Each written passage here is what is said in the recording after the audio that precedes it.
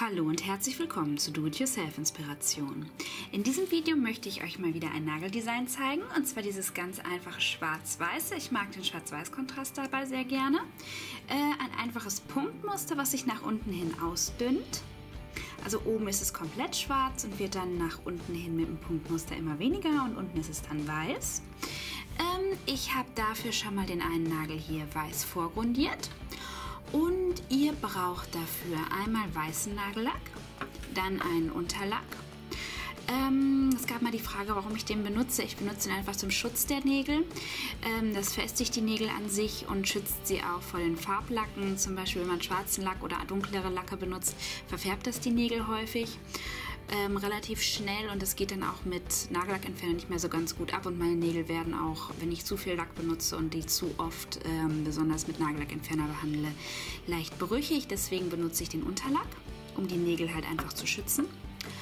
Ähm, hilft auch bei mir ganz gut. Also ich benutze momentan wirklich ziemlich viel Nagellack deswegen.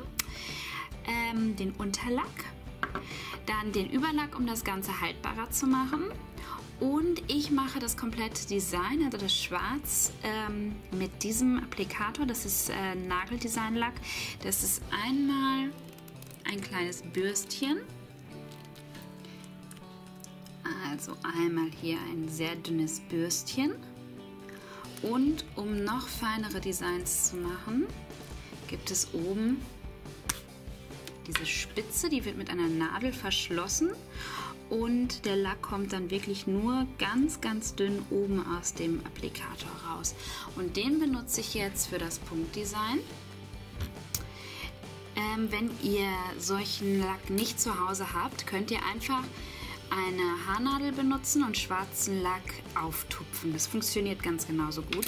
Es ist einfach nur hierdurch jetzt für das Video einfacher, weil ich dadurch den schwarzen Lack nicht so lange aufhaben muss und auch keine Tropfen irgendwie auf den Tisch bekomme oder so. Und ihr seht, ich tupfe jetzt einfach den schwarzen Lack auf den weißen auf. Erstmal als Grundlage ähm, ganz beliebig und dann werde ich nach oben ähm, häufiger und dichter und zum Abschluss gebe ich dann oben nochmal eine richtige Schicht drauf. So richtig oben an der Nagelspitze.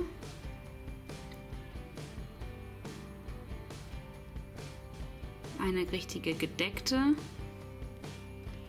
Schicht.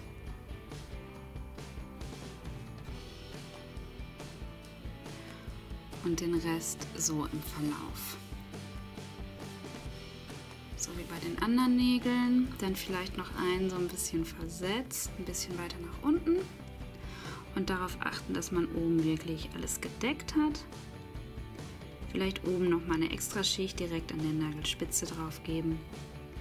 Ähm, ist auch ganz cool, wenn einem so ein kleines Stückchen vom ähm, Nagellack hier oben abbröselt, kann man mit dem Applikator oder dann mit der ähm, Haarnadel einfach die Stelle ausbessern mit einem kleinen Tröpfchen Lack. Das fällt dabei überhaupt nicht auf und das ganze Design hält einfach noch ein bisschen länger.